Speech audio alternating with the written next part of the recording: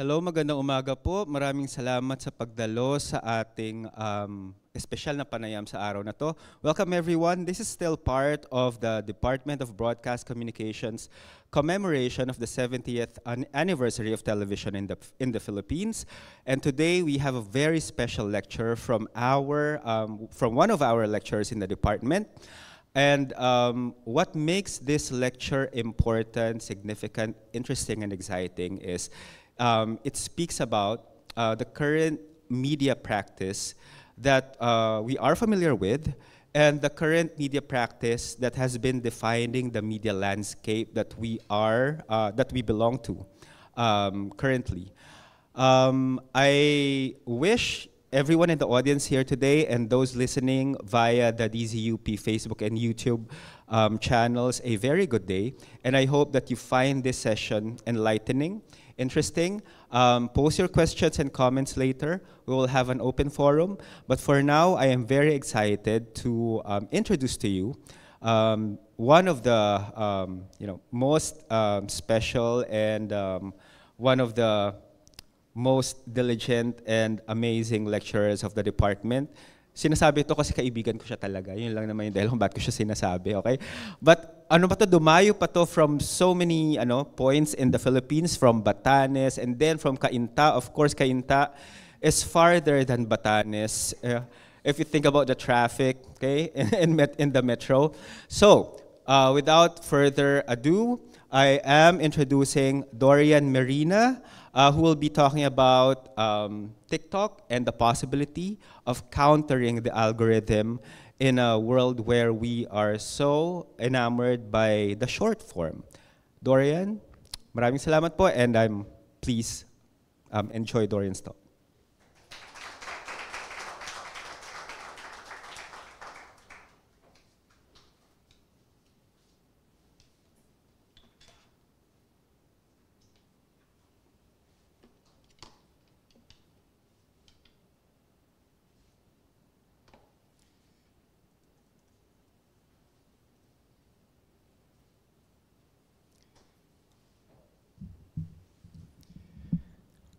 Okay, Kapyan Kamopano Diyos, si Chamo Bukas. Magandang umaga sa inyong lahat. Ako po si Dorian Merina. Um, greetings. Uh, let me just take a moment to see if I can uh, get the audio as we like it for everybody who's uh, listening. Is that okay? Does that sound okay? Okay, thank you. Um, so uh, thank you very much for, um, for attending, for being here, those of you who are here in person. Um, thank you to uh, those of you who are joining us online. Uh, welcome to our uh, discussion and talk. I hope this is useful and interesting um, for, for all of you. Um, maraming salamat sa departamento, siyempre po, sa um, uh, Dr. Um, Alwin Aguirre. Thank you very much. And uh, uh, Dean Paragas, and of course, uh, all the staff, uh, faculty, um, and students in the department, the uh, university community, and uh, everyone who is, who is tuning in. It is always an honor to be a part of events at UP um, and participate in the continued learning that we're all a part of and the sharing of information. Um, so it is a, a pleasure, pleasure to be here. Um, today, I'll be talking about uh, different forms, different formats in media.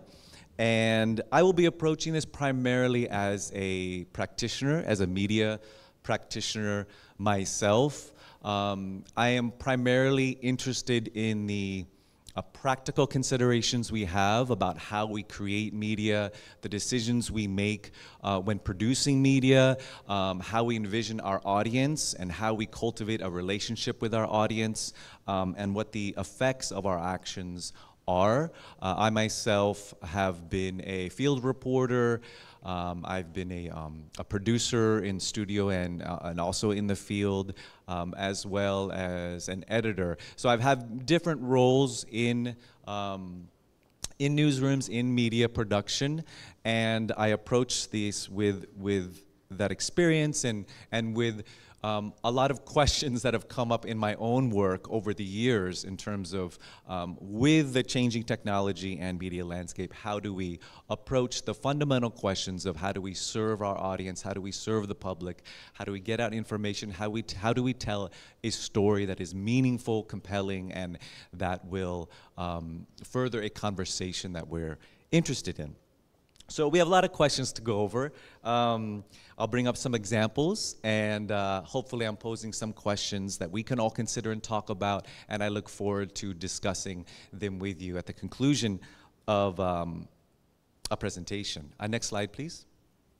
Um, pero mauna, Kain na tayo. Kain muna tayo. Kumanta na, as we say in Batanes. We're going to co cover a lot of information here. Um, so we need some sustancia, right? So let's see. If we wanted to get some uh, food for our uh, souls and our spirits to go through this talk, um, I'm presenting two options, okay?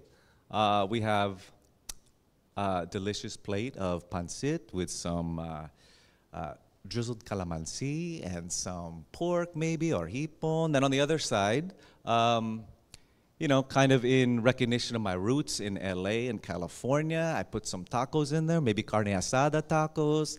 Uh, got some cilantro in there, some onions. Okay, so if we're considering getting some sustancia for us, um, and I'm sorry to disappoint, but this is more of like a thought exercise. So we won't have people bringing food in, at least not yet. But hopefully this will be useful for us. Um, first, we need to decide what kind of food, right? Okay. So if we were going to bring in some, how many people want to, to go for the pancit, platter of pancit? Okay, we got some support. Okay. Very nice. Okay. How many people want to go for the tacos? Ooh, it's about even. It's, it's a little difficult. Okay. Okay.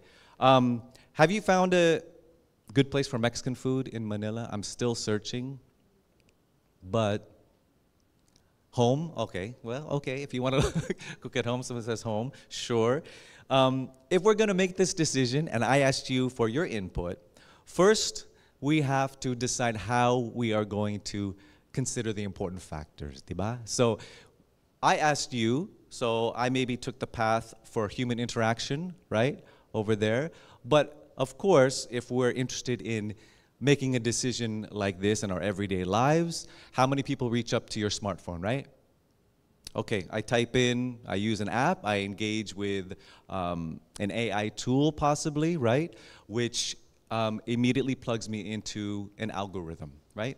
And I start uh, inputting data, I start receiving data, okay? And I'm, I'm sent on this path of a decision making process, okay? Similar to how I would do with a human interaction, but the differences is what we're interested in today, what we're going to look at.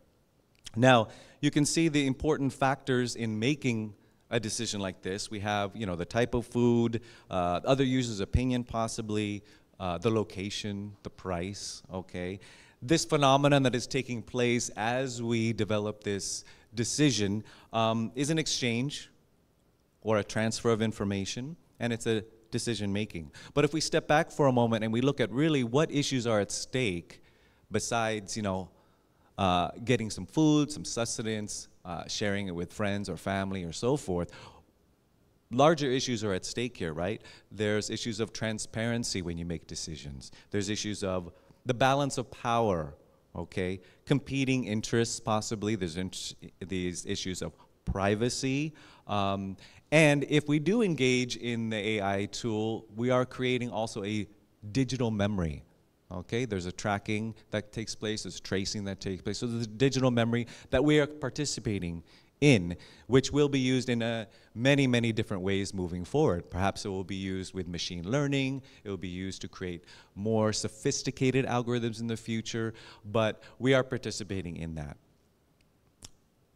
As you can see, my point here is just to illustrate that. Something as simple as choosing a food item or, or what we want to eat can include a multiple um, uh, layer process of decision making that we need to engage in. Now, as you saw, what I did is I asked for your input, right? I could also say, well, you know, um, I think the way we're going to make this decision is uh, when you walked in, we did use some facial recogni- recognizing uh, software. Maybe you didn't notice it, but we were able to access your posts and your preferences. And I don't need to ask you because I already know what your preference is going to be, right? I already know you kind of lean towards the taco, you lean towards the pancit, and I know why. And you know what else?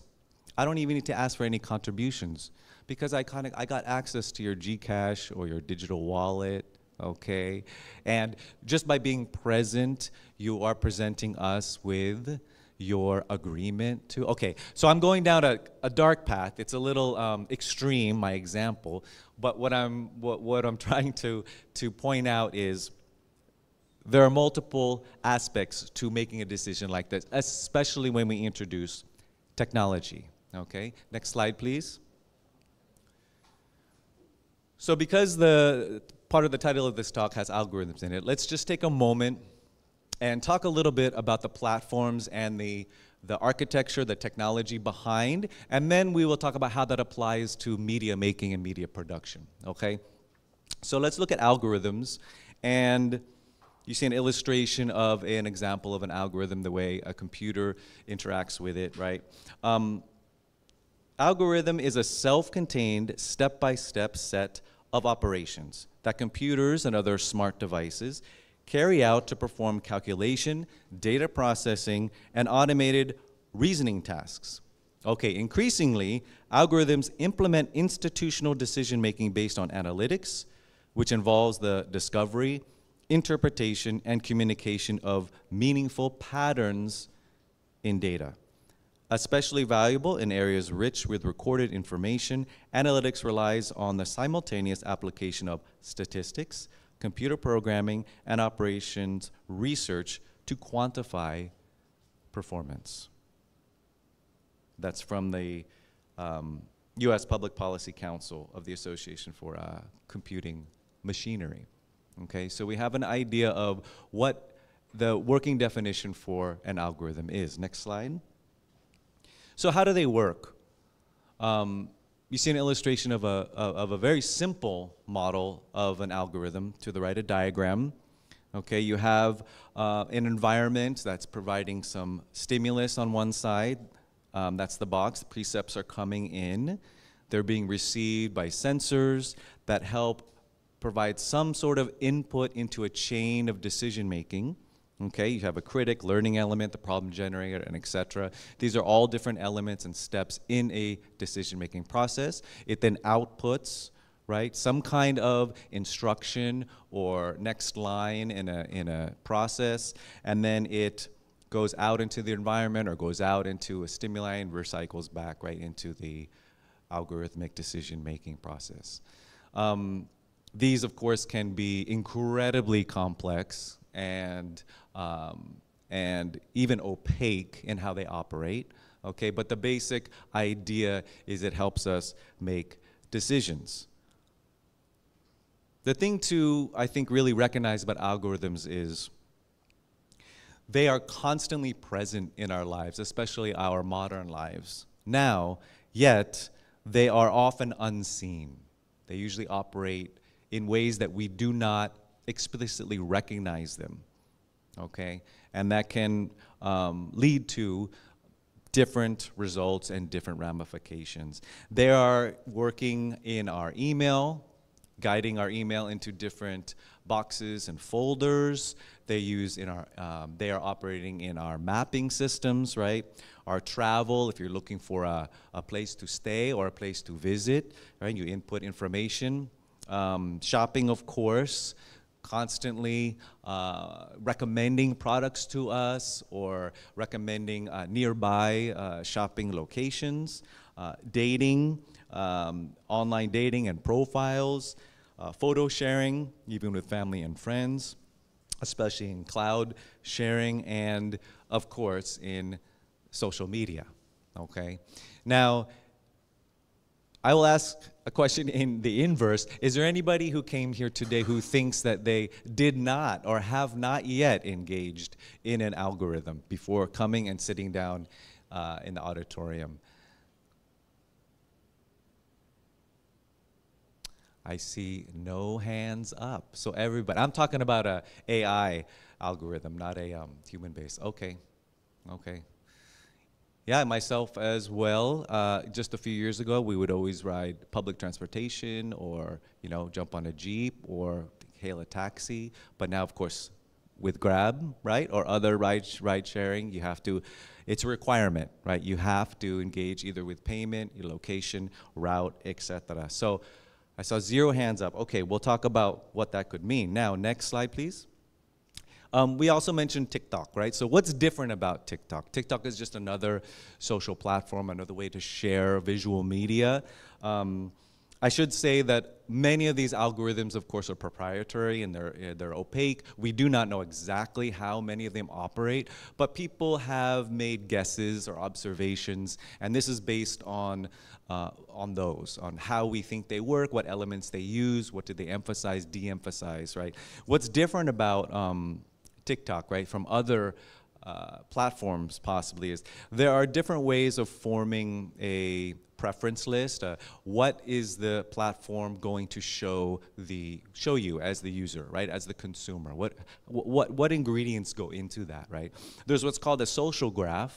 Okay, it's factors. These are the input from your active in interactions, right? You see a post, you like it, or you love it, or you put an emoticon, or whatever. That's an active participation. Or you have an interaction with somebody, okay, that's always recorded, right? And it feeds back into the algorithm. Next time, it knows what to show you or what to offer to you or what to give you or what not to show you what to withhold from you right so that's that's part of your social graph there's also an interest graph and that works more on a very individual level even to the level of your passive scrolling so you don't need to actively uh, make an input or you don't need to actively uh, interact with something but uh, even your passive consumption can be recorded and go into that. What TikTok has done, what people think, right, is that they make that individualization uh, primary, and as a result, your feed is highly, highly personalized, okay?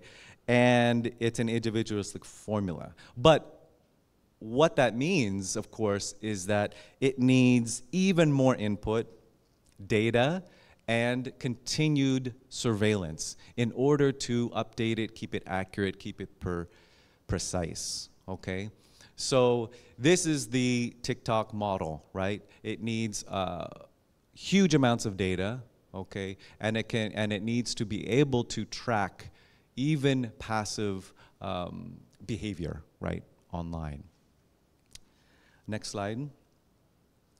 Algorithms have been around for a long time. Uh, they're not new, okay? So I think everybody could agree that they do provide convenience in our lives. A lot of the conveniences that we rely upon would not be possible unless we have them working, okay?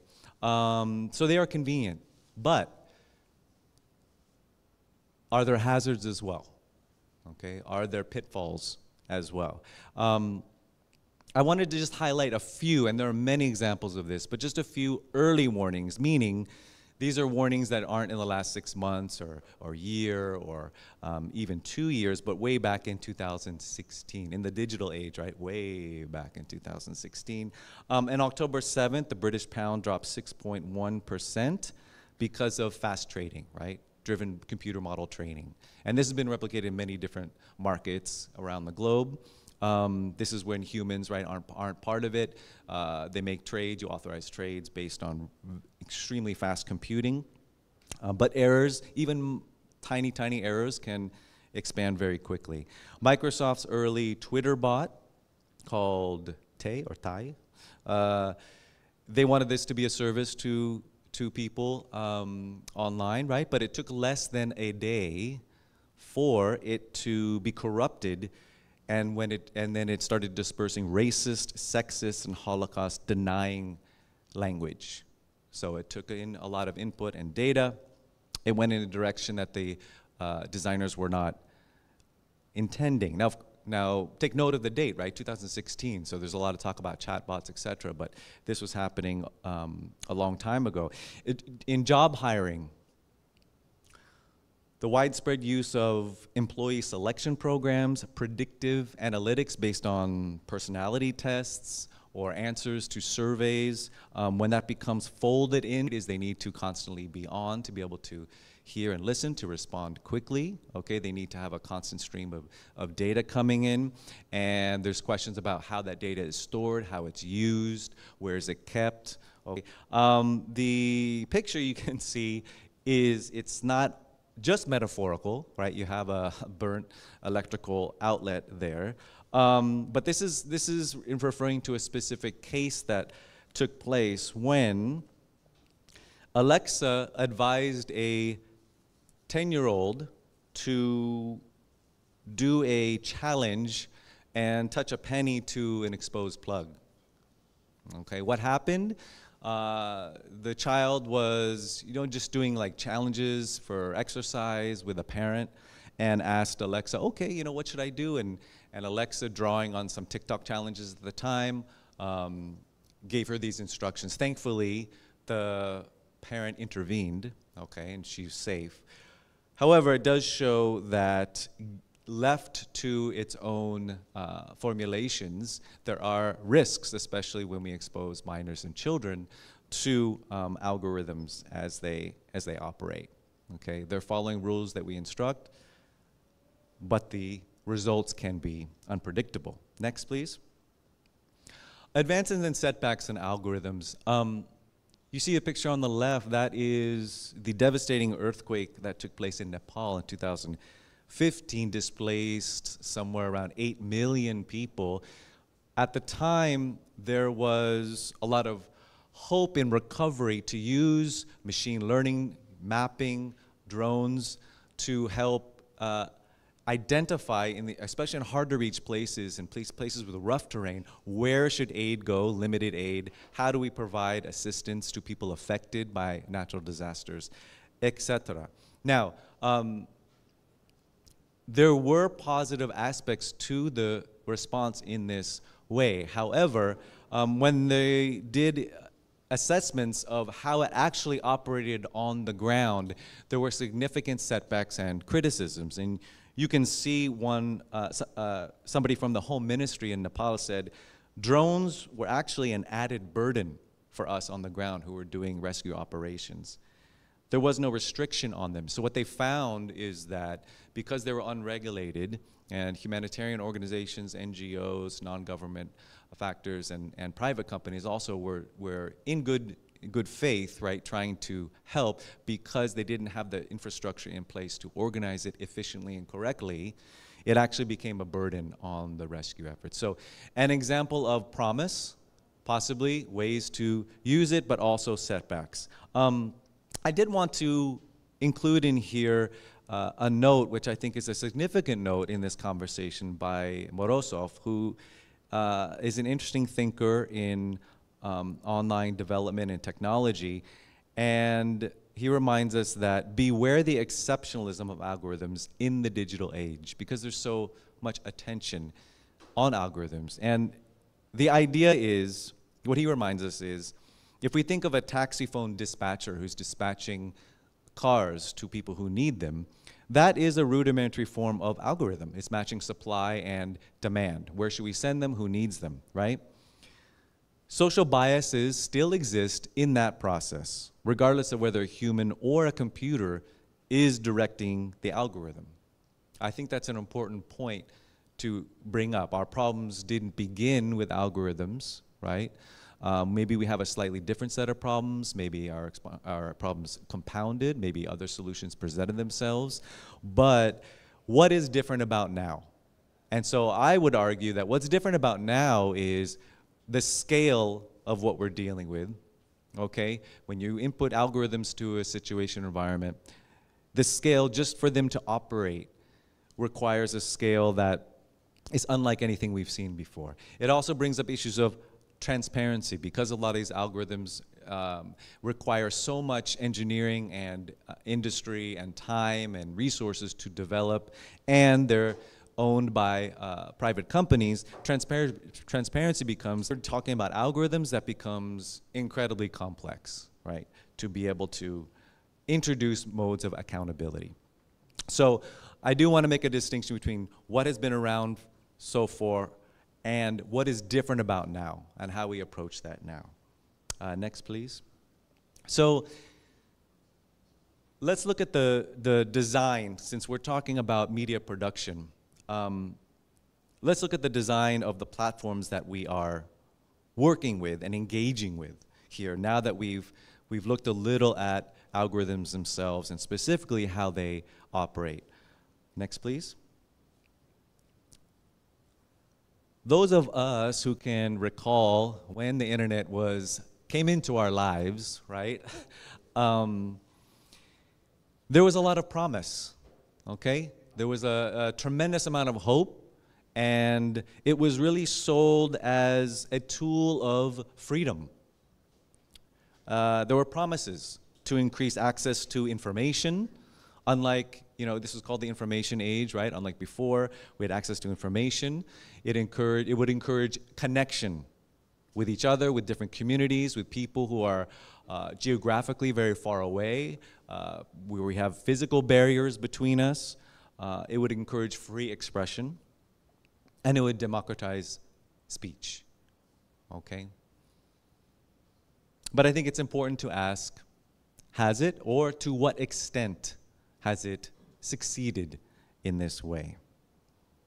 The image you're seeing is a protester um, displaying a candle during a village in Hong Kong in 2019.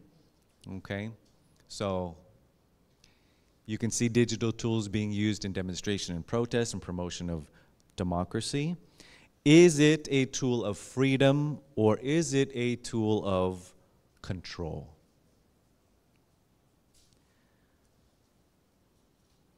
I think there's good arguments that we can engage in and, and make on different sides of this, but I do like the contribution from Wendy Chun, who problematizes that dichotomy a little bit.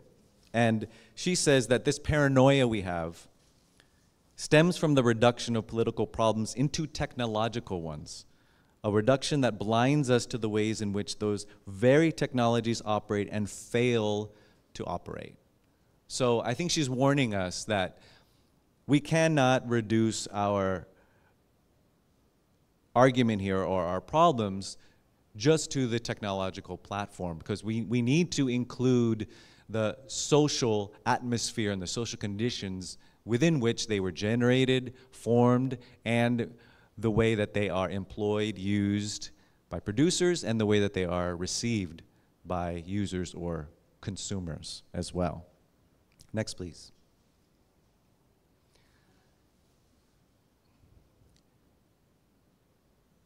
Looking at the internet and issues of power, how it's constructed, and what it has changed for us,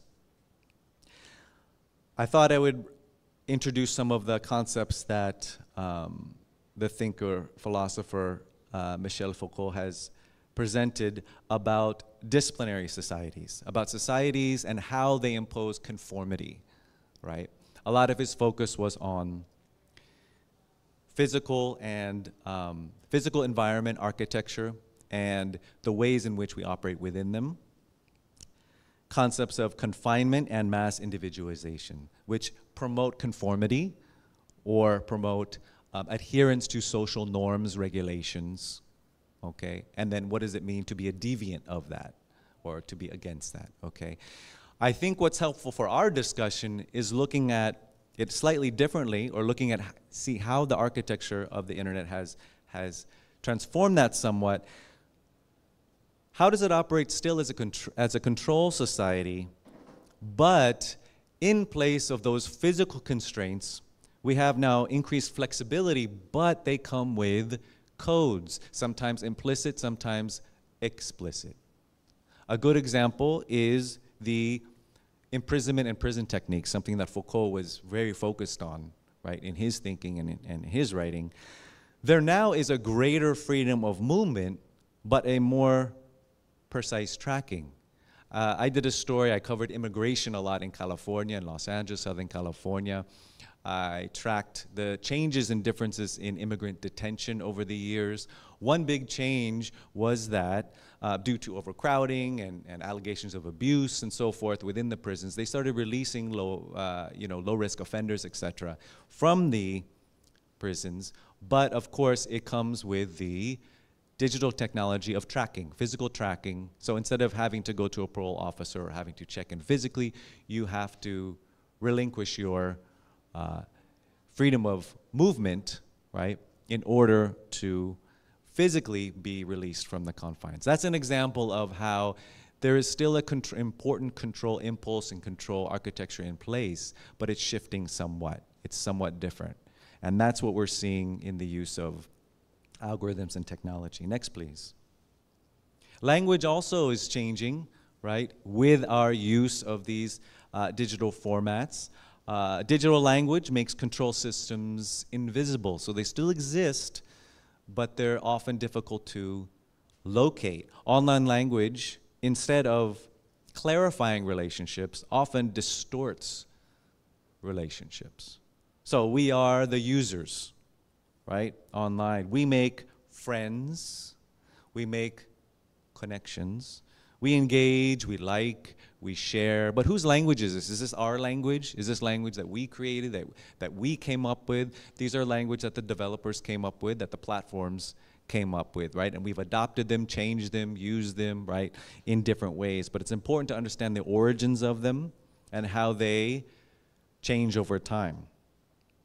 Another important point, we are often even though we think of ourselves often as the intended audience of any kind of tech platform, are we really the audience? Are we the consumers? Or are we, in fact, the product? Meaning, our time, our attention, or our avatars, right? The, that is what is being sold or packaged or monetized. If we flip it that way, then who becomes the intended clients, the advertisers, right? Because that's where our time is being sold to. That's where our attention is being sold to. Next, please. Along these lines, if we expand further into the economy, Shoshana Zuboff coined the term uh, the age of surveillance capitalism. So if, it, if our time, our attention is now the product, how is that product packaged and sold? She says, I define surveillance capitalism as the unilateral claiming of private human experience as free, raw material for translation into behavioral data, right? So that is now the product that is being transferred, sold, and so forth. That is now the product that is moving forward. Next slide, please. So, what are the implications of what Jack Balkin called an algorithmic society? So, if we are in an algorithmic society, as we said, I asked, okay, when you came in, who has not engaged in an algorithm? Before you came in, nobody raised their hand. So, if we are an algorithmic society, what does that mean? Balkin says it's a society organized around social and economic decision making by algorithms, robots, and AI agents who not only make the decisions, but in some cases they carry them out. Right? They become the active agents in carrying out those decisions. Next slide.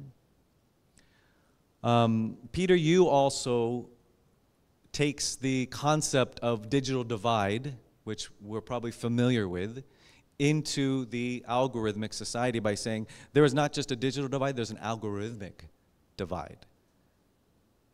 And he says, you know, just as the digital divide has separated those with access to the internet, information technology, and digital content from those without, an emerging and ever widening algorithmic divide now threatens to take away the many political, social, economic, cultural, educational, and career opportunities provided by machine learning and artificial intelligence. So he identifies awareness, access, affordability, availability, and adaptability is eh, are factors that are determining who has access to these algorithmic benefits and who does not. And what do those factors create? He calls them algorithmic deprivation, those who do not have access, right? Algorithmic discrimination, meaning the biases that we bring in from society are expanded and even um, distor- uh, sorry, expanded and even made even more extreme when we use algorithms. And then I think what's important is he identifies those first two concepts often affect those who do not have access. But the third one, algorithmic distortion, affects all of us. Because even those who engage with algorithms all the time, have access, are in fact at risk of engaging with distorted information, distorted dis- uh, decision making, because we have an imperfect system coming in to create those decisions to begin with. Next, please. So, one of the most current examples of how algorithms are um, operating, okay, in our life, and I think especially appropriate to broadcast media, is how they engage with human language. And these are, I'm going to spend just a couple moments talking about chatbots, okay? Because that is the uh, current discussion we're having in academia and also in, in journalism and, and broadcast. Um, so they work in a very, on a very simple principle, although it's extremely complicated. These chatbots are tasked with determining what comes next in a sentence. What is the next word? That's, in simple terms, what they do, right? And through doing that in, in very complex ways and in, in high speed uh, rates, they create language. Okay, so how does that work? You can see the example um, on the right. The human asks the chatbot, Who is LeBron James? Then the AI chatbot can say, Well, LeBron James is an American. Mm. Now, how do they determine what comes next? there's a formula, right? And each potential word comes with a score or a probability.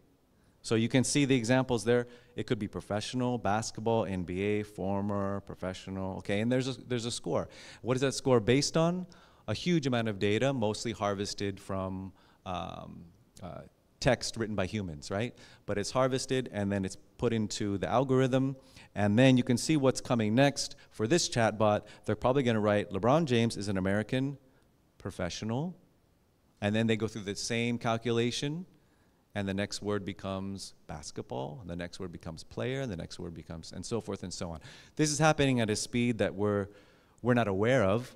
So it looks like it's coming out in human language, right? This can be called predictive language, natural language processing, advanced language processing, but it all works in, in the same way. Okay, next slide, please. Once we understand that, we can see that as impressive as this is and as um, important as some of the applications can be, we do need to be aware of the errors that come from using this kind of technology and how it influences how we produce media ourselves. Take a look at these two examples of a news story. One is written by a human, one is written by AI. Can you tell which is written by the human?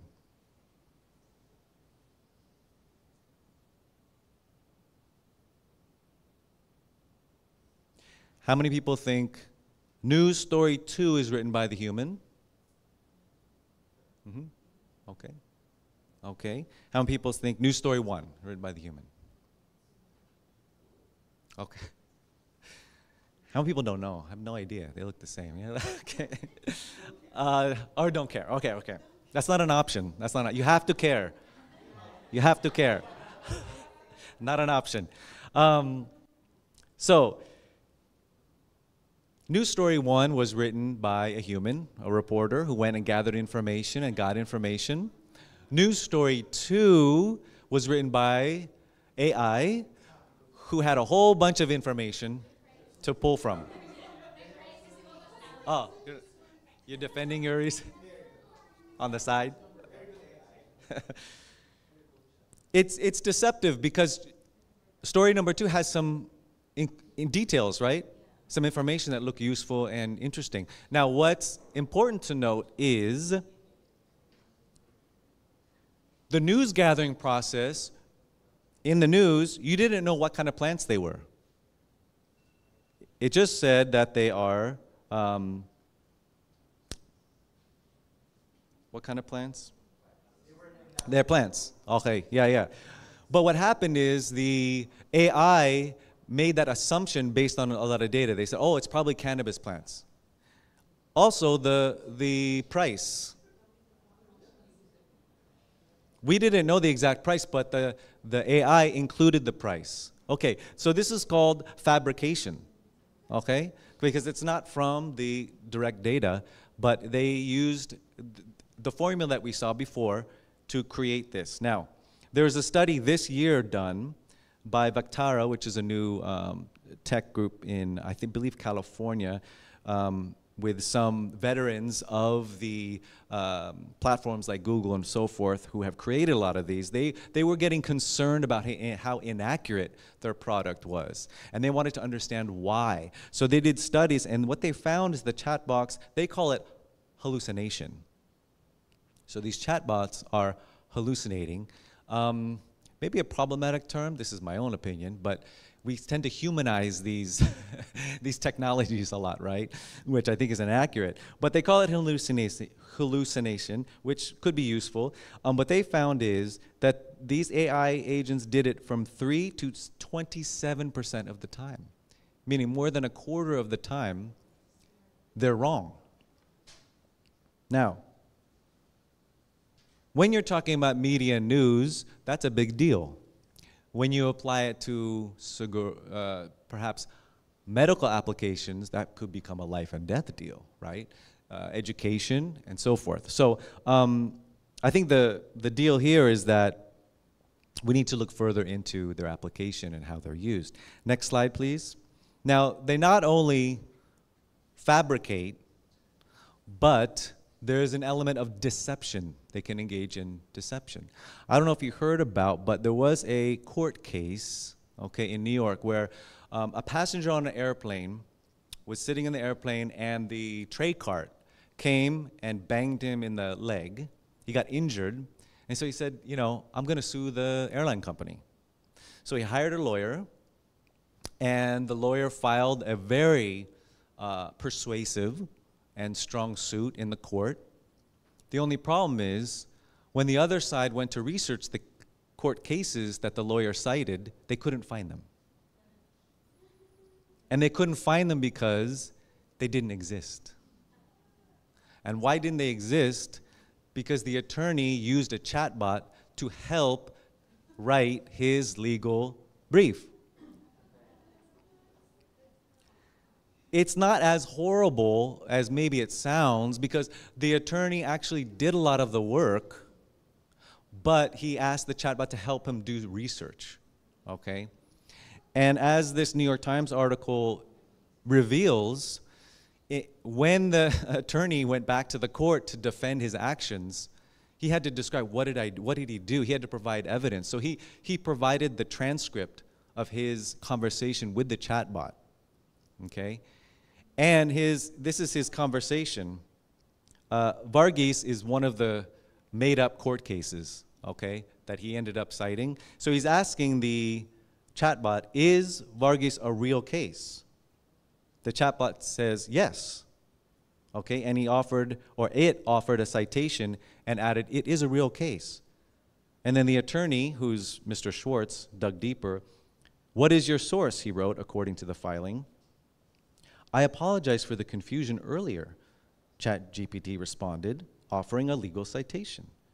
And then the attorney does even more diligence by asking a direct question Are the other cases you provided fake? ChatGPT responded, No. The other cases I provided are real and can be found in reputable legal databases. The lawyer said, Okay, let's do this. Let's file. What could go wrong, right?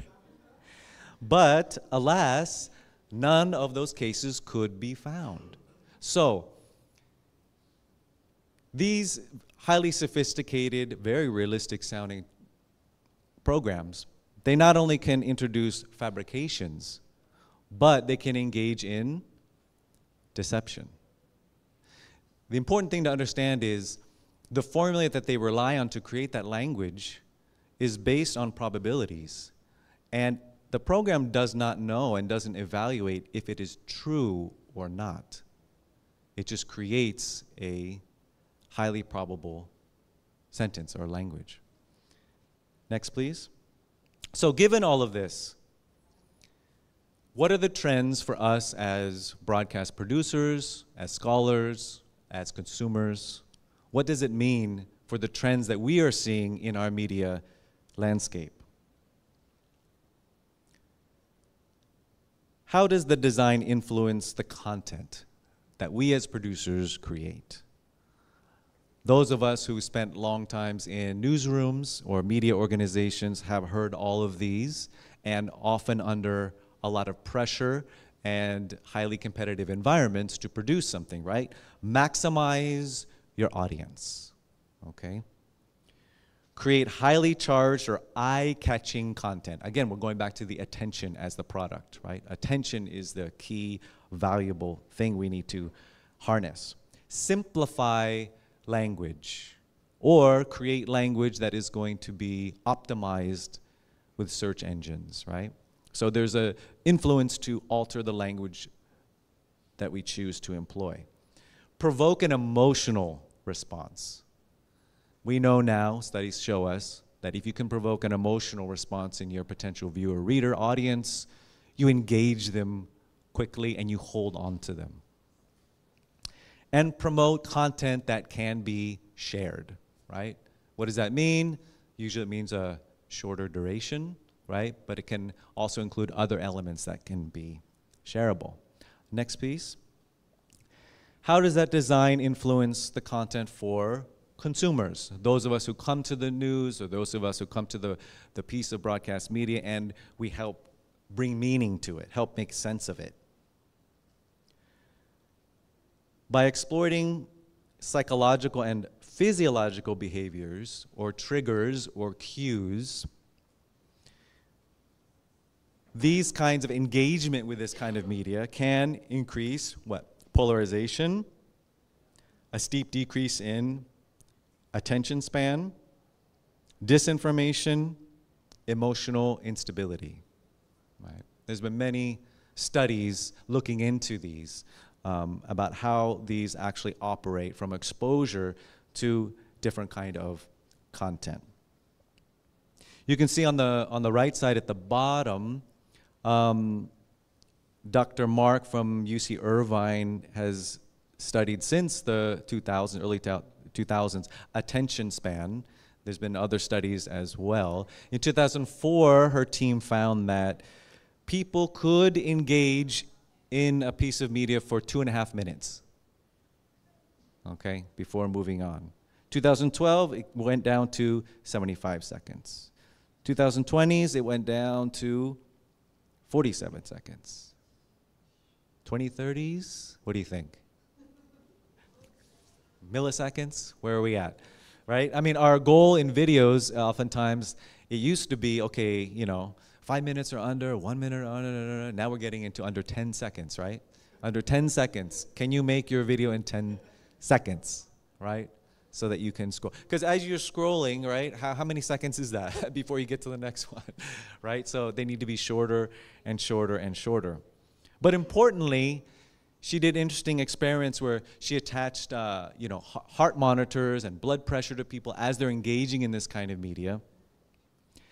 She says, we found in our research a correlation between frequency of attention switching and stress. So the faster the attention switching occurs, stress is measured by people wearing heart uh, monitors, we show that stress goes up. We know from decades of research in the laboratory that when people multitask, they experience stress and blood pressure rises. Right? And we know now that multitasking is actually an illusion. Diba? Or are you more productive when you multitask? Ah, okay, yeah, yeah. So you're you're, you're involved in self deceit then, right? You're I'm multitasking, I'm efficient, da, da, da, right? But scientists tell us that there's no such thing, right? There's just that you can only focus on one thing at a time, but you're doing it very quickly So it seems like you're multitasking, but you're actually splitting your time and attention very quickly. And the more you do that, the more that stress comes, right? Um, no judgment, right? We all multitask, okay? We all multitask. But, okay, next, please. But hold on, since I've been so critical about short format and, and all that, is shorter always worse? Or is it better? I think it's important to ask is there correlation between length and quality? Okay? I do want to point out that briefer is better in certain circumstances.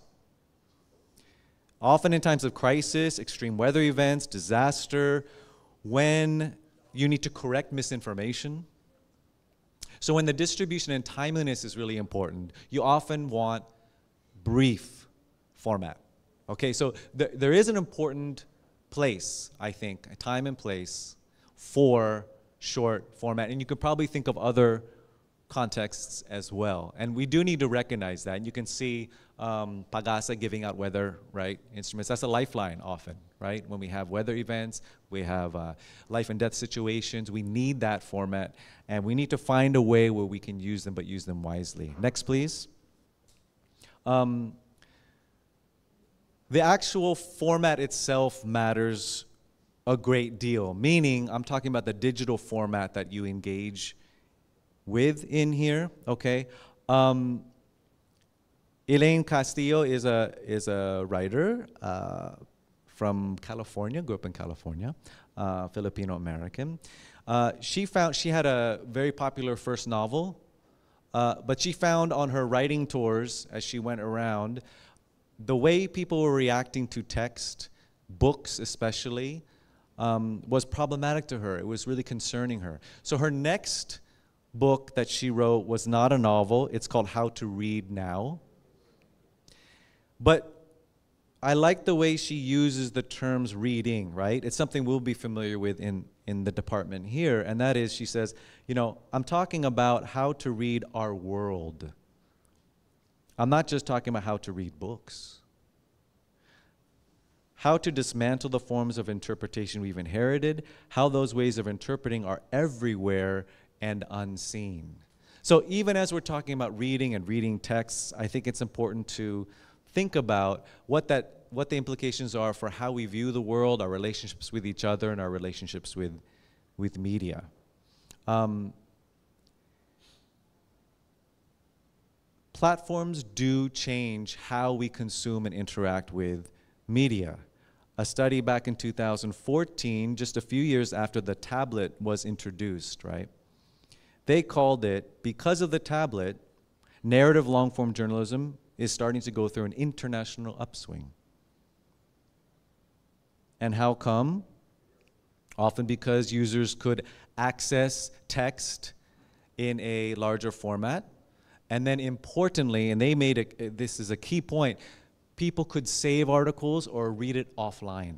And they found that once people could get a product and save it for offline engagement or reading, people were much more likely to finish the product and engage with it and then comprehend it on a deeper level. So, this is an issue where the actual technology itself, right, the format you engage with, can have a big implication. Uh, next, please. So, this last section of um, the talk, I think I wanted to introduce some counter trends to this. And these are specific examples that I think are useful to think about. How does long form storytelling or long form broadcast pieces, how do they exist? How do they compete? And how are they um, produced? Uh, next, please. As we look through these, I think it's important to think about the metrics of how we determine what a broadcast media piece should look like, be like, feel like, how it's produced, and how it's consumed. So we should ask some questions, you know, what is viral? What does that mean? What is useful? What is meaningful engagement? How is success or popularity measured? What serves your audience? What contributes to a social justice mission? Some of these questions often are not part of the criteria that go into producing a piece of media. But I would argue that in order to produce meaningful, long form broadcast pieces, we need to instead shift our metrics. We need to embrace complexity. Okay, a story often has many levels, many points of view, many aspects, many questions to be asked. We need to not try to just simplify that or dismiss them, but embrace the complexity. We need to provide deeper context. We need to demand and expect greater attention and commitment from our audience. We, not to, we, we can't just assume that, oh, they're not going to be interested. It's going to be, I've heard that so many times as a producer, reporter, or editor ideas being dismissed or framing being dismissed because there's no faith in your audience, okay? We need to produce content in collaboration with your community. So we need to recognize this two way um, street of media that takes place, that it's not just a dissemination activity, right? That it's something that goes in both ways. We're informed by our audience, they contribute to it. We need to develop new criteria and impact for transformation. And we need to foster and strengthen a confrontational approach to traditional power structures. And I think once we do that, that introduces a whole different criteria for evaluating media. Next, please. I think it's important to focus on audio. This is um, primarily where I come from, but I think it can tell us things about other broadcast as well. Uh, this is from just this year. Spotify released some findings of a of a survey. Um, we take it with the caveat that they are a company. They want they're using this for their advertisers, of course. Um, but I think there's some interesting insights to take from this. And they're saying that Generation Zs they crave depth. They want deeper stories, stories with more complexity, and stories that have a longer length to them, actually, or are tied in a serial way. They want connection. Okay? Next, please. Um, they also said, and let me read the point.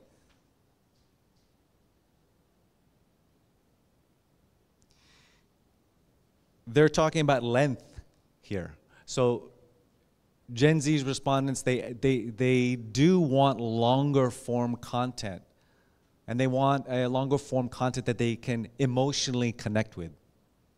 Okay, so there is a demand out there. There's a there's an interest. Next, please.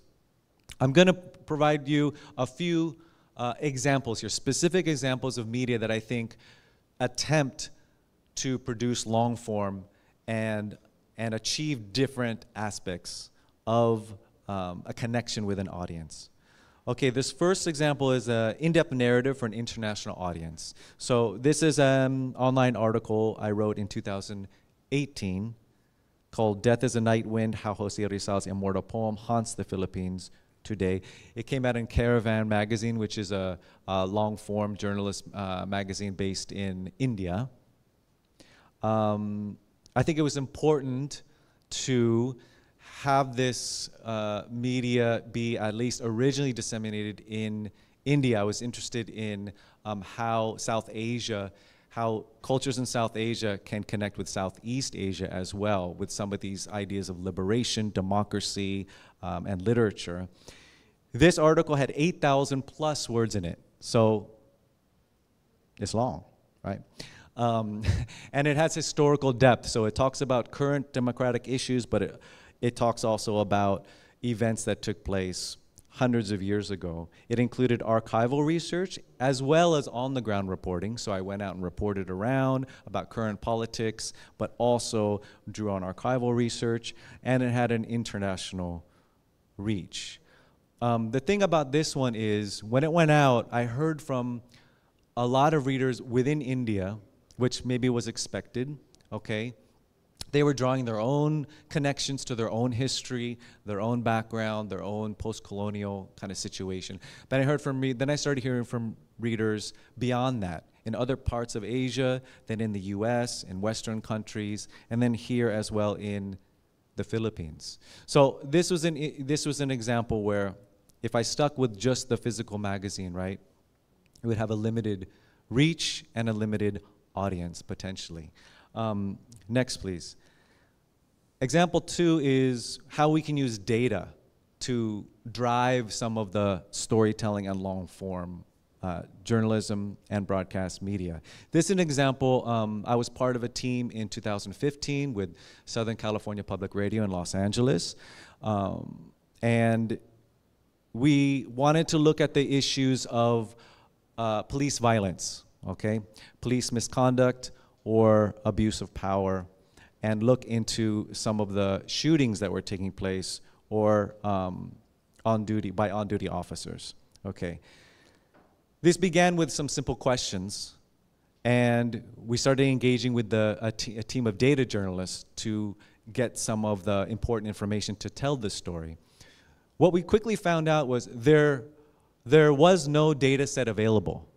So, in terms of these police shootings that took place. Remember, this is 2015, so this is before in the US with the explosion of uh, um, protests and really critical um, uh, views and, and public outcry over George Floyd killing and so forth that took place later. So to ask some of these questions were, was very controversial in the beginning. We found that there's, there wasn't a data set available. So what, what did the team have to do? They started, they had to request actual letters from the law enforcement, from the Attorney General's office, et cetera, narrative letters about each incident. From those narrative letters, they created a database themselves so that we could use as part of the storytelling. As you can see in the graph, this is from the, the online presentation, a screenshots from that. The first one says between January 1, 2010 and December 31st, 2014, LA County District Attorney records show at least 375 people were shot by on-duty officers. Then the next screen shows you, but no officers have been prosecuted for any of those shootings. That was the finding after the journalists went through all that. In this case, the data helps drive the story, finding characters, focusing narrative, and testing concepts. But the story also helps drive the data, the questions you should ask, the framework, and the sources. Next slide, please.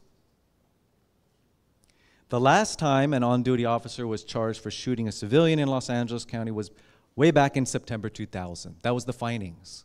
Okay, so we have this data right? So what happens next? Well, let's look at what happened at that last shooting. What's the story behind that? So that's where I came in. My job was to track down this police officer and get him to talk to us. What happened? What is the incident? What, what took place, right? So imagine this police officer was, was, went to trial, and he was convicted. He spent time in prison. Do you think he wants to talk to anybody, right? Do you think he wants to tell his story? so um, it's a whole nother story how that happened. But we found him, and we found the police officer, and we found, you see the picture, the man who was shot at that time. And he's holding an x ray of the bullet that is still to this day lodged in his back that he lives with. So, in that story, there's data. There's data, a database that the pu- public can look through and see. But then there's also story, there's narrative, there's characters, okay, there's voices. That's part of that. Next slide, please. There are other long form narrative, uh, digital narrative online. I just want to highlight quickly a few. Longreads is one. Um, they've been around, I believe, 2011 or 2013. Um, the Atavist magazine, you can see in the bottom right, they only publish one long story a month that, li- that, list, that readers can engage with, okay? And the long play up on the right is from Finland.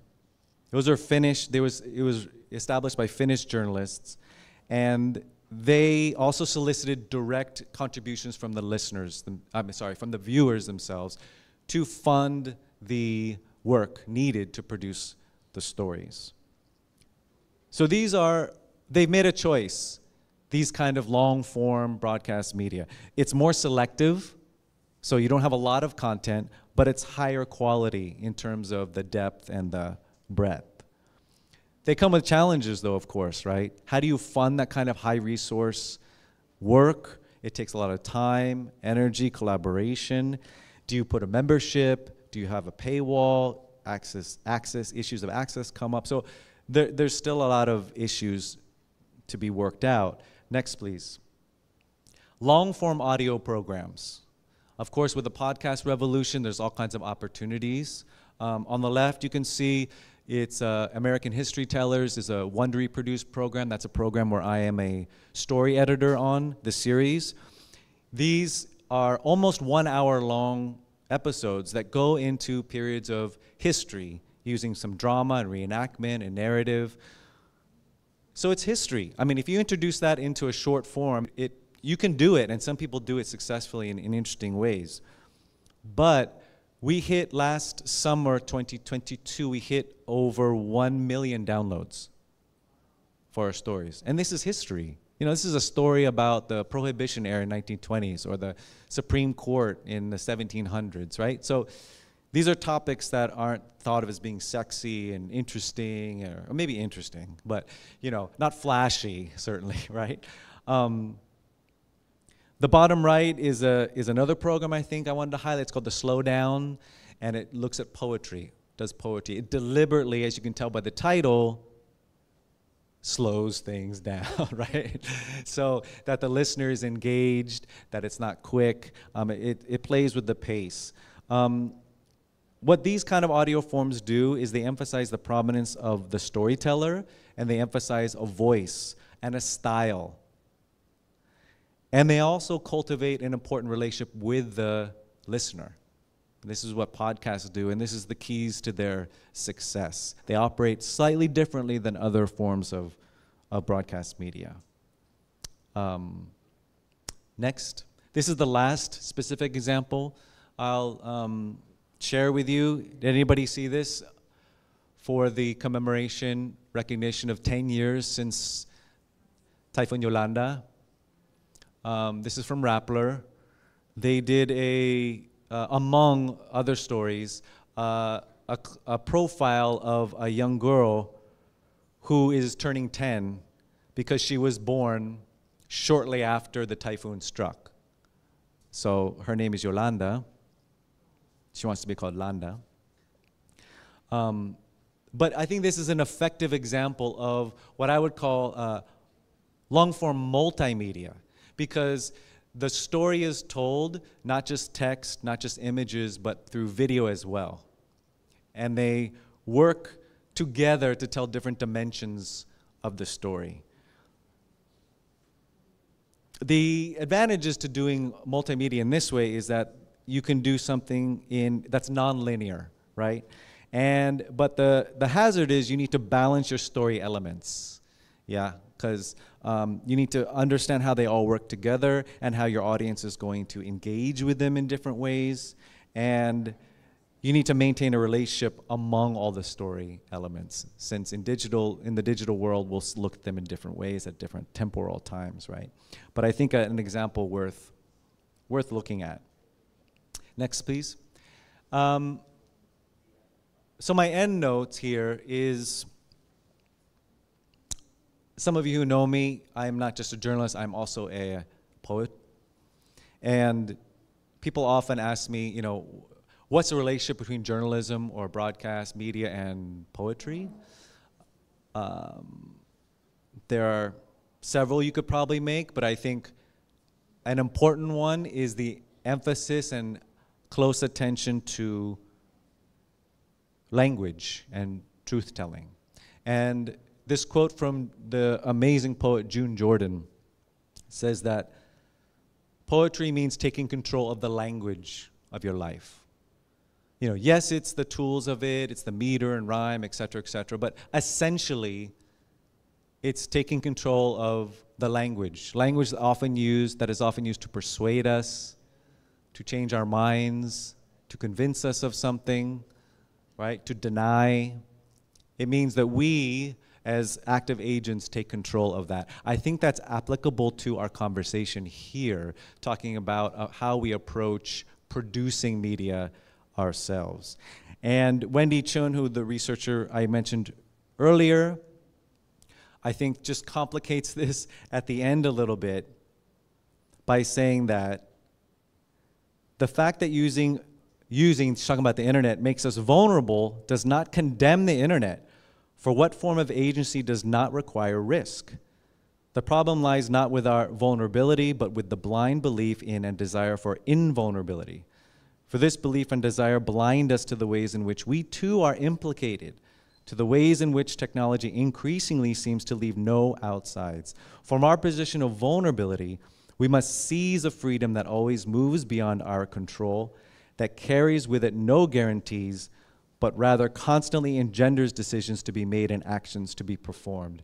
So she's calling on us to not be passive agents as algorithms fill our lives, as broadcast media changes. She's calling on us to be active agents in this decision making process and in the production itself. And next slide. If you allow me just to conclude with a, on a personal note, if it's okay, um, I just wanted to dedicate the talk today to my father, uh, Victor Merina. Uh, not, some of you may not know, I don't talk about him a lot, but he is a journalist and a writer.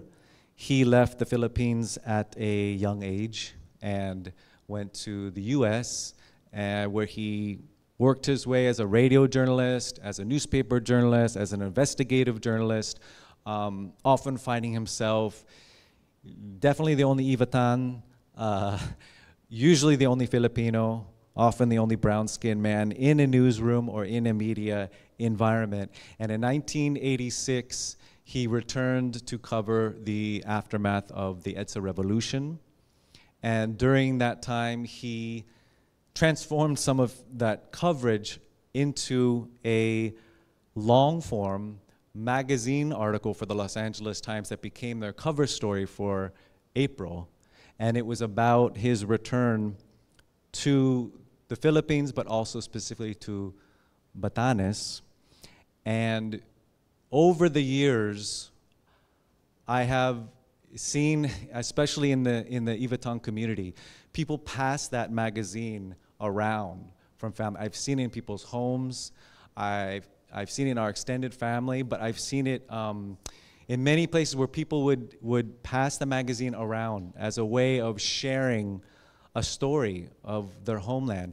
And then in, even into the digital age, I watched as people share it online. Every now and then, they share it. And last week, um, before I even thought about including mentioning this, an Ivatan person who immigrated a long time ago to San Diego, California, emailed me out of the blue and said, You know what? I'm homesick. I'm longing for my homeland. And I went and I found your father's article to read it again and to share it again. And when I reflected on that, I thought about what my father was doing there, he was actually engaging in some of the things I've been trying to talk about, which is what are the powerful elements and components of broadcast media, of, of stories, of journalism, and those come down to these fundamental elements of story, voice, character, relationships. So I just wanted to share with you some of his work and to acknowledge his profound inspiration and influence on my own life and my own career, um, especially because today is his 75th birthday. And yeah. So happy birthday to my father. He's in California right now, and I, I can't be with him. His Apple cannot be with him right now. But we are here, and we're sharing with you some of his work and his dedication and commitment to, to journalism and to media. So, marami pong salamat. Diyos mamahas.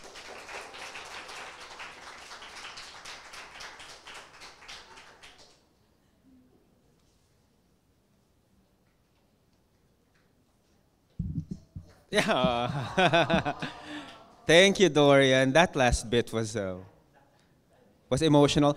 Dorian um, asked me to, to review his slides, but I wondered when I was reviewing it why, why this slide was left um, blank. Yeah, so ito pala yung papakita ni Dorian na surprise. Thank you! So this, is, this makes it extra special today. Um, and I hope that you're able to remember everything that Dorian said in the slide kasi meron siyang pa-contest ngayong araw na to. Okay. Before we go to the, do we go, do, do we do the, the contest first or the open forum first? Probably the open forum. Eh, mas mahalaging raffle, or raffle. Yung contest, di ba? Okay.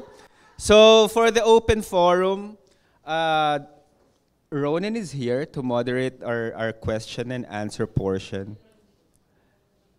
And uh, mamaya na yung pa-contest, may, may special prize si Dorian, the poet.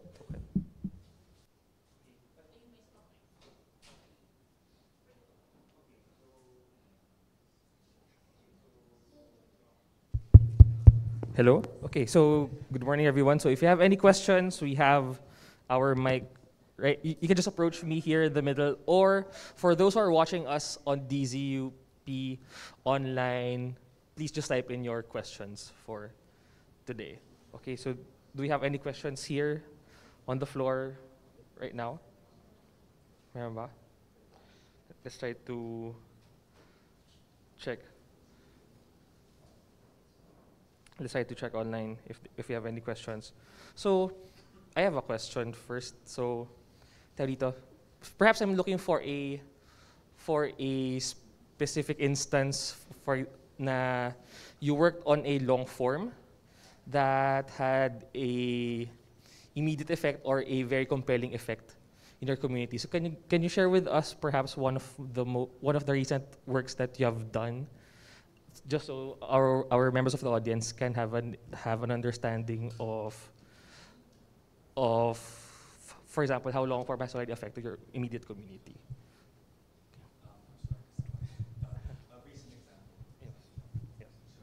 Ah. Yes, please.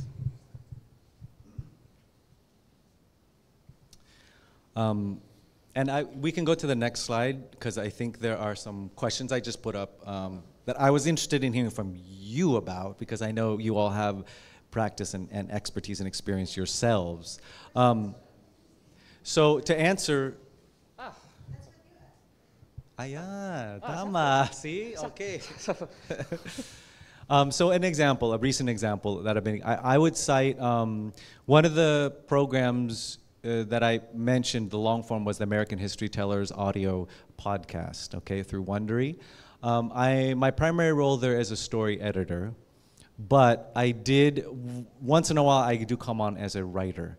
Um, about a year and a half ago, uh, we did a program where I was the primary writer on, which was about the Philippine American War. So this was a four part series um, that looked at the events of the Philippine American War from, from both sides, right? From what happens in the US American politics and the expansion of its imperial empire and the debate that goes on in Congress and in US politics, as well as the dynamic, of course, here in the Philippines, and importantly at that time, not just in the Philippines, but I would say throughout the region and Southeast Asia. Okay, and what was happening in Japan and what was happening in nearby as well. Um, that example took each episode you think of as almost an hour long, right? So it goes temporarily through the events of the time period. But I think what's important about approaching that in a long form is that's one of the events that I think in both countries, um, although there's been excellent scholarship and work on that here, um, it is does not get the attention that it absolutely deserves in helping understand what a pivotal moment that was in international relations and Philippine history as well.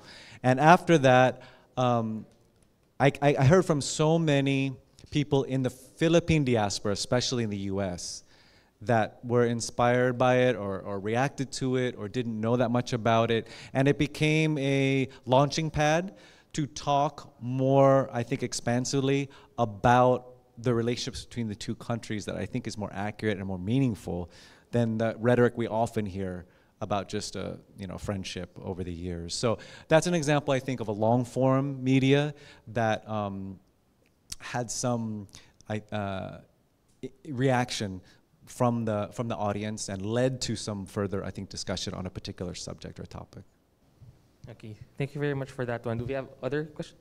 Yes, let's have Sir LJ. Hi, Dorian. I'm just curious about the method of writing. You, we, we're talking about the long form.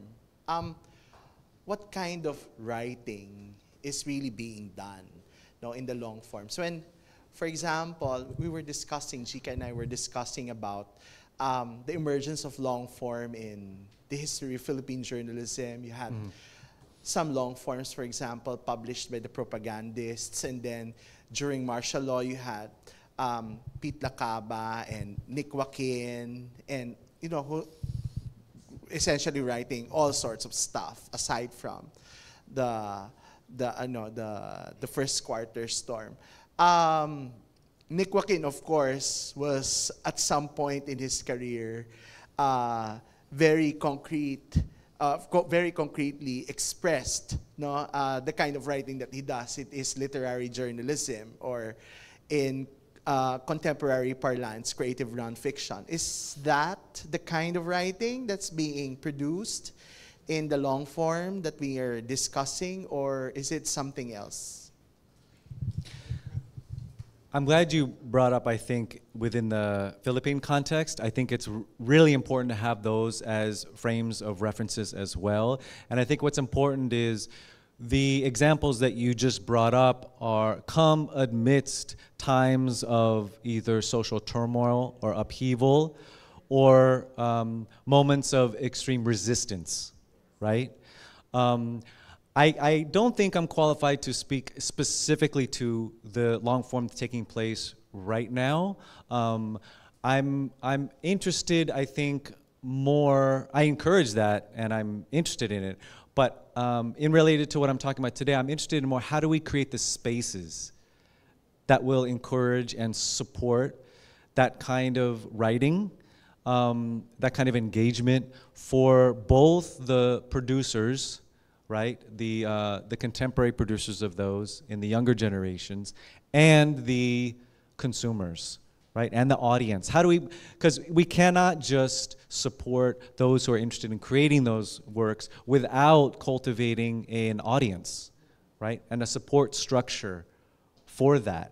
So um, I would argue, I mean, I, I would hope to be part of efforts to say that our current contemporary time do demand a similar kind of long form writing or production in order really to, to understand the moment we're going through and to understand the, the efforts at resistance that we can still uh, engage in in a meaningful way. We need that kind of uh, a deeper engagement in the material, but likewise, we need to also uh, create the audiences and the platforms that will that will encourage them.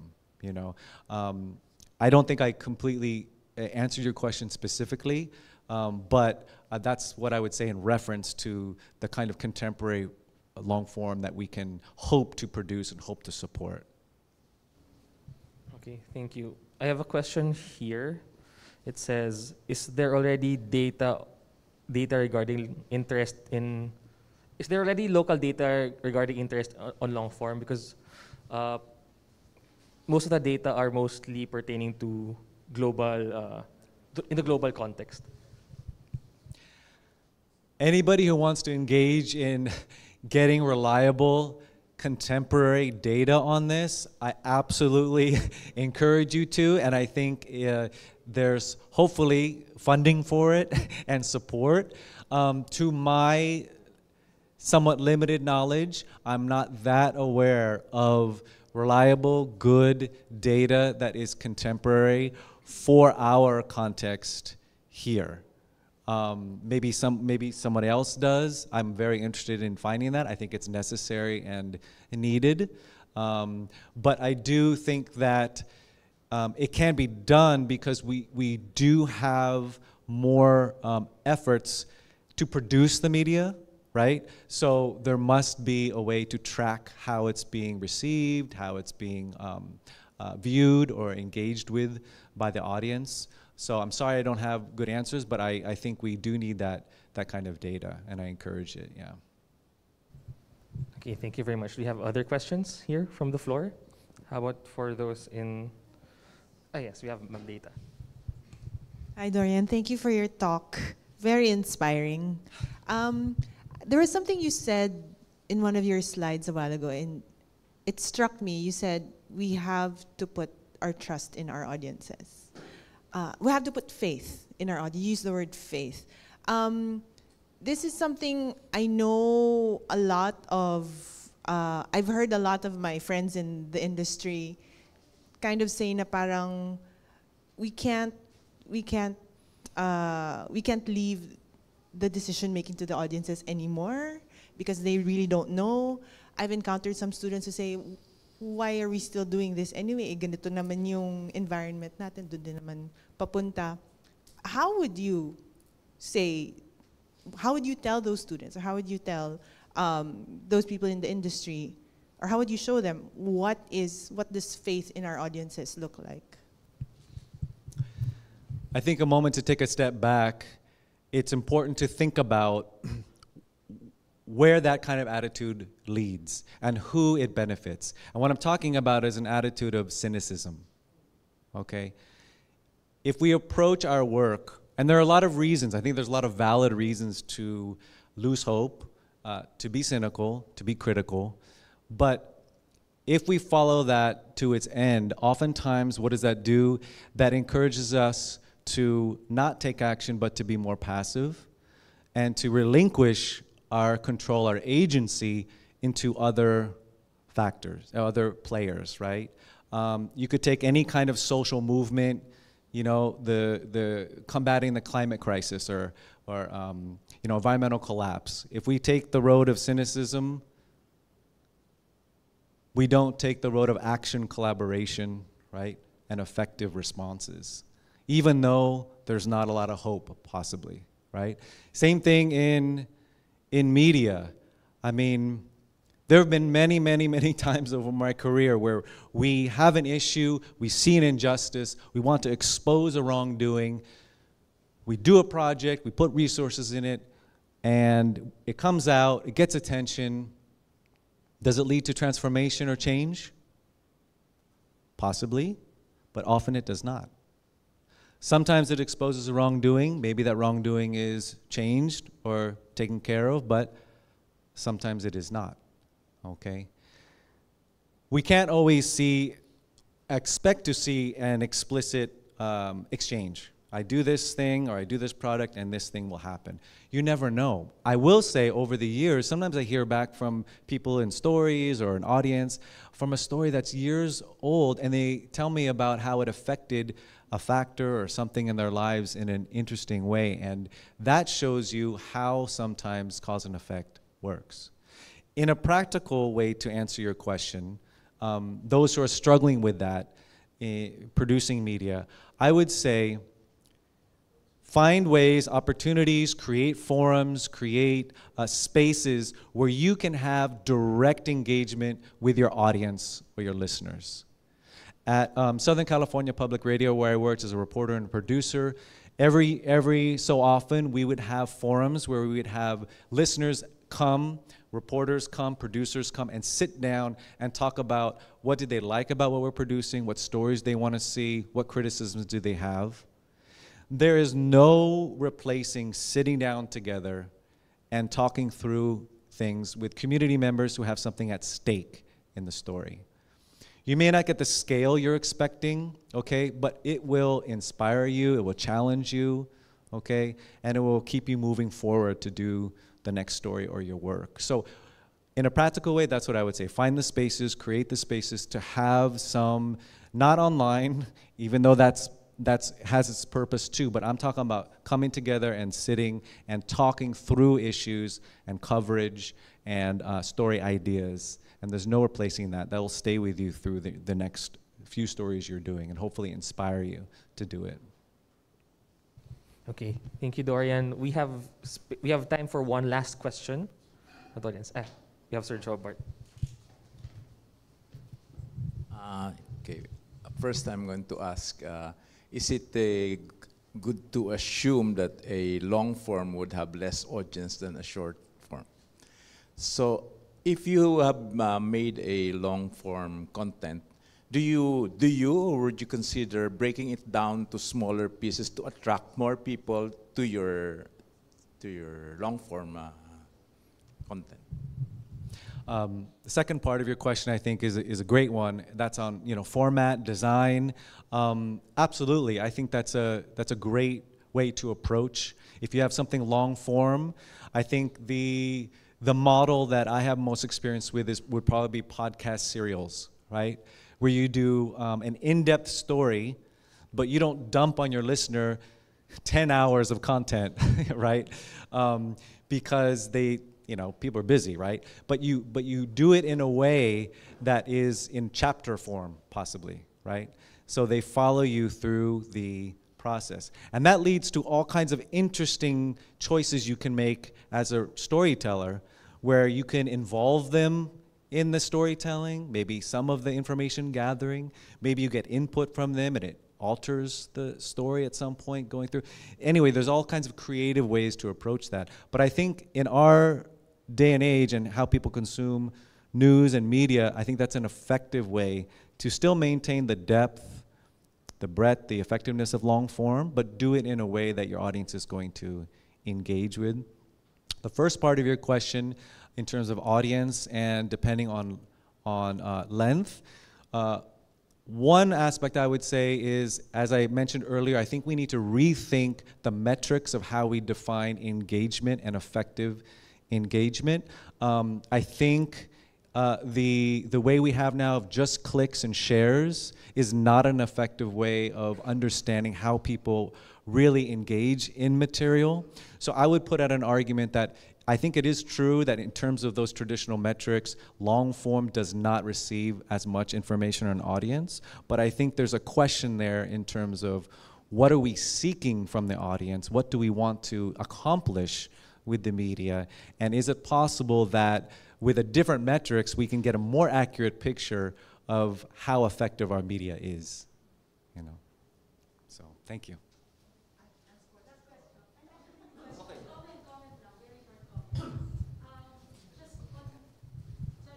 Hello, Dorian. Thank you for the talk. Um, very, very short comment on the audience. Um, just also building from what Dorian said. No, um, I think in terms of the audience, medyo pag inisip din natin, if they can actually binge watch um, public affair shows on Netflix, then they can do long form. I think it only has to do with how we structure the story, how we do cliffhangers, no?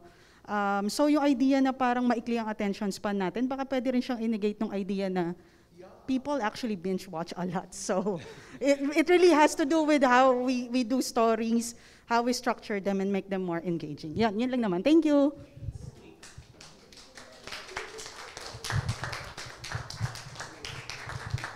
Maraming salamat po sa mga magaganda niyong tanong at sa mas magagandang sagot ni Dorian at sa validation ni LJ doon sa sinabi ni Irish. Yeah, okay? Of course. Okay. So ibig sabihin din, I think that the message the last question was brilliant because the, the message here is to create opportunities for us to um, to to make the long form possibly productive, but also to make the short form meaningful. I think you know the short form and the long form, they're not uh, in opposition, but the, they could be meaningful depending on how we use it. But the opportunity for making the, uh, these uh, formats productive and meaningful is what we should cultivate and strive for. So, yung last bit ng ating uh, presentation ngayon is a special, um, ano ba to? May, may, may dalang special prize si Dorian. Dalawa lang to ah. Very rare. So, this is his most recent collection of poetry. Uh, it's titled uh, Dia Chichuk, okay? Uh, and um, yung makakasagot ng dalawang tanong, merong libreng dalawang libro, but also you have the opportunity to um, have Dorian autograph it, right, Dorian? Tama ba yon? And have a photo with Dorian and the dep- whole department. yun lang, yun lang yun. Dapat kasama yung department sa picture ninyo. And post it on CMC Cares and possibly DBC cares more. Meaningfully. Okay, so, no, no, no. Joke lang, Dean. Thank you for the auditorium. Okay, so. Dean, thank you for your, your constant support, unwavering, and your, you know, full support for the department. We love you, and we care for you as much as CMC cares for everyone, okay? Okay, so ang gawin natin, Dorian, I suggest, this is my suggestion, dahil dalawa lang to, okay? Ganito yan, pipili ako ng dalawang question from the list uh, of the discussion questions, okay? And um, whoever will answer will get the chance to have the book. But but the, the but the winner will be chosen by Dorian himself, okay? Okay.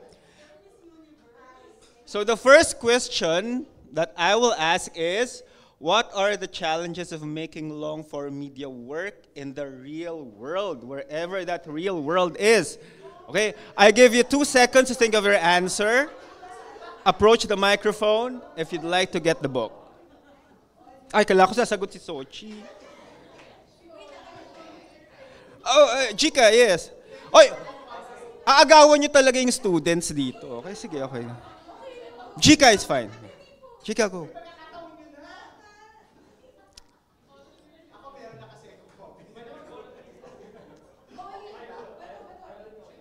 Chika. Oh, that was with citation and num slide number. Yeah.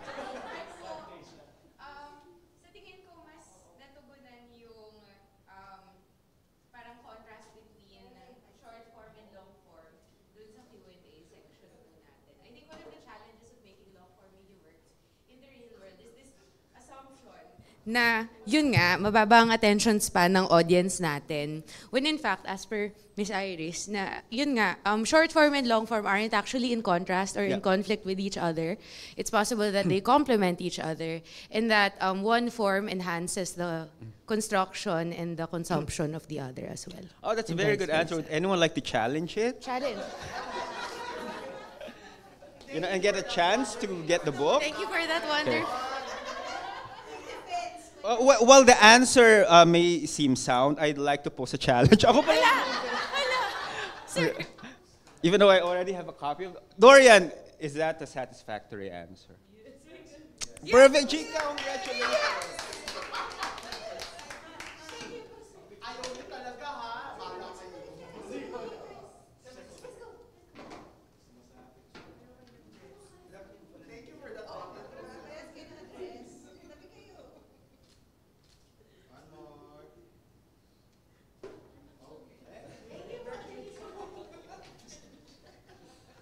Oh, may extra pricey Dorian. It's a brand new second-hand watch. Is it? And a MacBook. Okay, so wala na raw yung poetry collection. Watch na lang. Okay. Second question. Um, what else should we consider for this? Ay, hindi pala yan. Sige. Num, ito na. Second question. Um, Yeah, sige. How do you imagine applying some of these ideas to your production or to your production na lang? Students! DZUP, would you like to answer? Students, how would you like, how do you propose applying it to some of your production work? Oh, well, very good. Okay. Hello. Hi, sir. Um, how do you imagine applying some This of is. Melbourne, right? Yes. I remember Melbourne. His name is Melbourne. Yeah. Yeah. How do you imagine applying some of these ideas to your production, to the classroom? So I just want to recognize what uh, Sir Dorian mentioned earlier in his speech. Um, I think it's very important to note that um, Gen Z specifically, uh, we got a short um, attention span. I got to consider that, but also the fact that the um, Miss said that we still have time to binge watch, right? But I but I, would, I do recognize the importance of um, how to strate- strategically partition our production um, uh, in a way that it captures the the audience's attention, because, like for example, um, I'm gonna put this in a podcasting sense. I have to be honest. Um, in a personal take, it's very difficult for me to like stay on a story. So I think it's very important to um, uh, make sure that there's uh, a few chapters of each each part. So because we're very busy in our lives, just so in case that if we leave the podcast example, we can just get back to it and know where we left off. Basically, that's my answer. Thank you. Would anyone like to answer, pose a, like a challenge? Wag na raw, ibigay. LJ, sige LJ, okay. Si LJ na po nagdesisyon. Dorian, okay. Melbourne, congratulations.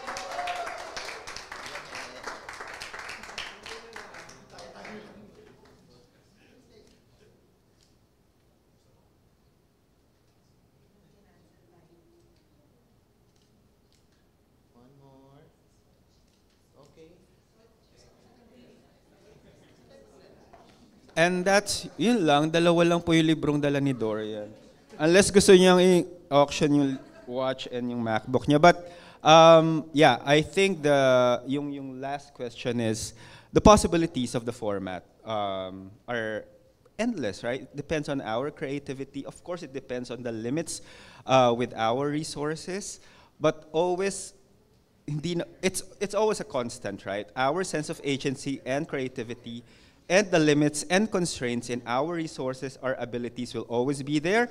It's a matter of harnessing and maximizing what we have, whether it's the long form or the short form.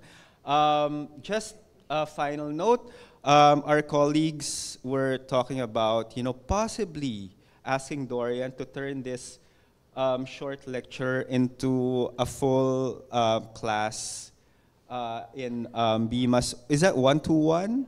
And that's digital, digital and emerging media. So because itong, um, it's, it's kind of a condensed presentation, but there are so many things to unpack here, and probably one course for one semester will do the trick. So this is the short form.